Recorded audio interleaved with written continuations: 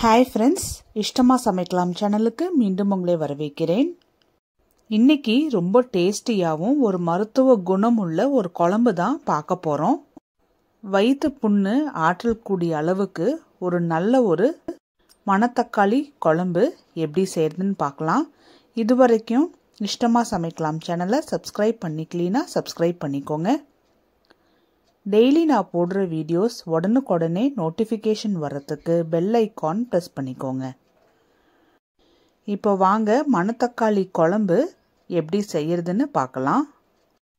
நான் இன்னைக்கு ஒரு டம்ளர் அளவுக்கு மணத்தக்காளி வாங்கிட்டு வந்து கழுவி வச்சிருக்கேன்.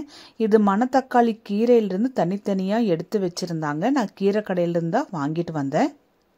இன்னைக்கு மண் சட்டியில் குழம்பு வச்சிடலாம். சட்டி கொஞ்சம் சூடான உடனே மீடியம் டு ஹை ஃப்ளேமில் வச்சு அஞ்சு டேபிள் ஸ்பூன் அளவுக்கு எண்ணெய் ஊற்றிக்கலாம் எண்ணெய் சூடான உடனே ஒரு டீஸ்பூன் அளவுக்கு கடுகு பாதி டீஸ்பூன் ஜீரகம் பத்து பல்லு பூண்டு நல்லா தட்டி எண்ணெயில் போட்டுடலாம். பூண்டு நல்லா பொன்னிறமாக ஆகிற அளவுக்கு நல்லா வறுத்துக்கலாம். நல்ல ஒரு வாசனை வரும். அது வரைக்கும் வறுத்து எடுத்துக்கோங்க. அதுக்கப்புறமா ஒரு முறை கலந்துட்டுட்டு கொஞ்சமாக கருவேப்பிலையும் போட்டு அதையும் நல்லா பொரிய விட்டு எடுத்துக்கலாம். எல்லாமே நல்லா பொரிஞ்சு வந்திருக்கு. இதில் நான் அஞ்சு நார்மல் சைஸ் வெங்காயம் நல்லா பொடுசாக கட் பண்ணியிருக்கேன். உங்ககிட்ட சின்ன வெங்காயம் இருக்குது அப்படின்னா அது இன்னமும் நல்லது. ஒரு ஐம்பது கிராம் கிட்ட சின்ன வெங்காயம் போட்டுக்கோங்க. இப்போ இந்த வெங்காயத்தை எண்ணெயிலேயே நல்லா வதக்கி எடுத்துக்கலாம். ஒரு முறை நல்லா கலந்துட்டுட்டு ஒரு பேபி பிங்க் கலரில் வந்த உடனே வெங்காயம் வதங்குறதுக்கு தேவையான அளவுக்கு உப்பு போட்டு திரும்பவும் வெங்காயத்தை எண்ணெயில் நல்லா முருகல் போல் எடுக்கணும். வெங்காயம் ரொம்ப கோல்டன் ப்ரௌன் கலரில் வரணுங்கிற அவசியம் இல்லை. ஆனால் கொஞ்சம் முருகின போல் இருக்கணும். இதில் கழுவி வச்சிருந்த மணத்தக்காளியும் போட்டு நல்லா ஒரு முறை கலந்துட்டுக்கலாம். மணத்தக்காளியுமே எண்ணெயில் நல்லா வதங்கி வெந்து வந்திருக்கும். மணத்தக்காளி வேகிறதுக்கு ரொம்ப நேரம் ஆகாது. ஒரு அஞ்சுலேருந்து பத்து நிமிஷத்துக்குள்ளவே நல்லா வெந்து வந்துடும் இதை வெங்காயத்தோட போட்டு நல்லா ஒரு முறை கலந்துட்டு ஒரு அஞ்சுலேருந்து பத்து நிமிஷத்துக்கு நான் மூடி போட்டு வேக வச்சு எடுத்துக்க போகிறேன் நான் ஒரு எட்டு நிமிஷம் பக்கம் வேக வச்சு எடுத்துக்கிட்டேன். எட்டு நிமிஷத்துக்கு அப்புறம் பார்த்தோம்னா மணத்தக்காளியும் வெங்காயமும் எண்ணெயிலேயே நல்லா வதங்கி வந்து எண்ணெய் மேலே பிரிஞ்சு வந்திருக்கும். பாருங்கள் நல்லா கரெக்டாக சூப்பராக வெந்து வந்திருக்கு. இதில் அஞ்சு நார்மல் சைஸ் தக்காளி நான் மிக்சி ஜாரில் அரைச்சி ஊற்றிக்கிறேன் நான் யூஸ் பண்ணியிருக்கிறது நாட்டு தக்காளி அதனால இதுலேயே கொஞ்சமாக புளிப்புத்தன்மை இருக்கும். இதை குழம்புல போட்டு நல்லா ஒரு முறை கலந்துட்டுக்கலாம்.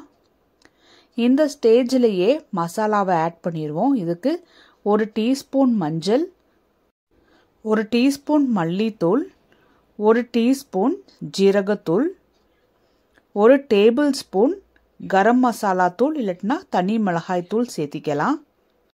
குழம்புக்கு தேவையான அளவுக்கு உப்பு ஒரு டீஸ்பூன் பெருங்காயத்தூளும் போட்டு நல்லா கலந்துட்டரலாம்.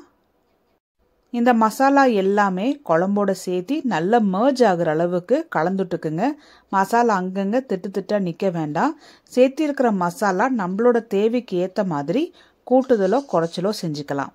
மிதமான சூட்டில் வச்சு பத்து நிமிஷம் மூடி வச்சு குழம்ப நல்லா கொதிக்க வச்சு எடுத்துடலாம். பத்து நிமிஷத்துக்கு அப்புறம் பாருங்கள் குழம்பு நல்லாவே கொதிச்சு வந்து எண்ணெய் மேலே நல்லா திரண்டு வந்து நின்று இப்போவே பாருங்கள் நல்லா சூப்பராக ரெடியாக இருக்குது இன்றைக்கி நான் நாட்டு தக்காளி சேர்த்திருக்கறனால ஏற்கனவே குழம்பு கொஞ்சம் புளிப்பாக தான் இருக்கும். அதனால நான் சின்ன எலுமிச்சை சைஸ் புளி மட்டும் தண்ணியில் ஊற வச்சு ஊற்றிக்கிறேன் நீங்கள் புளிப்புக்கு ஏற்ற மாதிரி இந்த புளி தண்ணியுமே அட்ஜஸ்ட் பண்ணிக்கோங்க. புளி ஊற்றின பிறகு குழம்பு ரொம்ப கொதிக்கணுங்கிற அவசியம் இல்லை குழம்புல புளி தண்ணியை ஒரு முறை நல்லா கலந்துட்டுக்கிட்டாவே போதும். குழம்ப மிதமான சூட்டில் வச்சு ஒரு அஞ்சு ப நிமிஷம் கொதிக்க வச்சு எடுத்துட்டோம்னா புளி தண்ணியுமே நல்லா ஒரு முறை கொதிச்சு வந்துடும் இதை நல்லா கலந்துட்டுட்டு சின்ன சின்னதாக கட் பண்ணி வச்சுருக்கிற கொத்தமல்லியை தூவி விட்டுட்டு ஒரு முறை கலந்துட்டரலாம் அவ்வளோதான் பாருங்கள் வயிற்று புண்ணு சரி பண்ணக்கூடிய மணத்தக்காளி குழம்பு ரெடி ஆயிடுச்சு.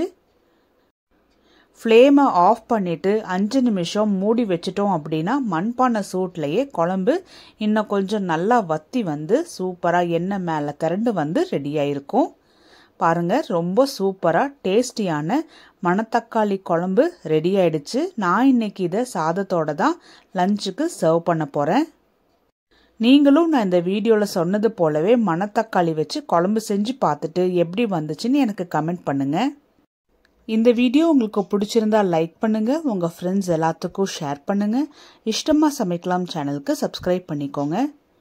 டெய்லி நான் போடுற வீடியோஸ் உடனுக்குடனே நோட்டிஃபிகேஷன் வரத்துக்கு பெல் ஐக்கான் ப்ரெஸ் பண்ணுங்கள்